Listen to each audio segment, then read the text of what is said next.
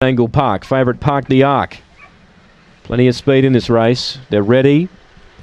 Racing. Just went up in the air a little bit now, trying to muster. Go Yarrago's got speed. So's Jack in Black. They're going to clear the inside greyhound here. Jack in Black led from Go Yarrago. Park the Ark, the rail third. Two back then to Gold Bro. On the way forward, Fury Road. Further back, Reader's Cabin. Master Franklin and Hope We Win back at the rear. But in front, Jack in Black sped away. Five lengths clear. Running on now, Park the Ark. Back to third, then Gold Bro.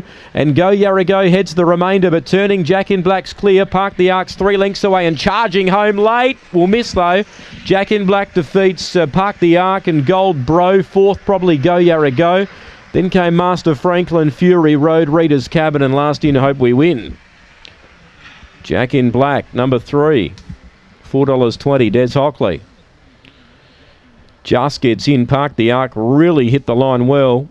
And six third Gold Bro. Four is fourth Go Yarrago. Three, one, six, and four. 30 and 54. 30 and 54. 451 early. 1708, 1346. It's his uh, seventh win in his career. He's pretty consistent, this fellow. He's had 21 minors to his name as well. It's been a good dog for uh, for Des Hockley.